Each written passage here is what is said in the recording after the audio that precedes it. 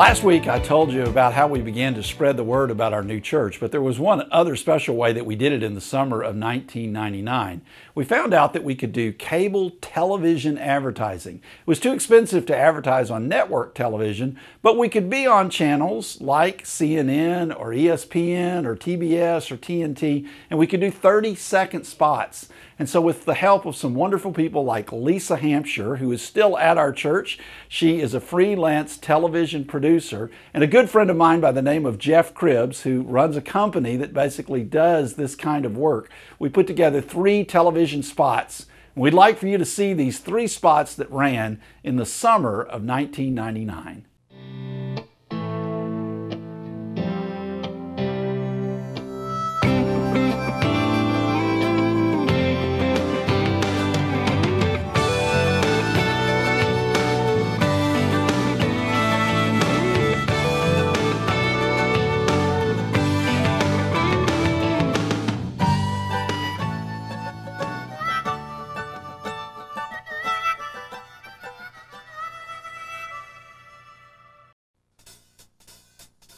Location, location, location. Come on.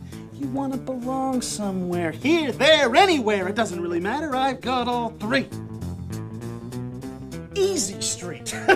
Nobody really lives there. But I do have a nice place on Crisis Court, another one on Unhappy Trail. Ooh! Lost Lane is perfect for you.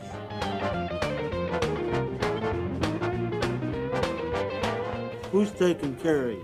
Hmm? This is Julie reporting for Kid TV. We're here in Frisco today asking a hard-hitting question. Where is Grace Avenue? Sir, we want to ask you a question. Where is Grace Avenue? Actually, it's in the time we spend together. I'm going to ask you one more time. For the record, where is Grace Avenue? To be sure, it's in our caring for others.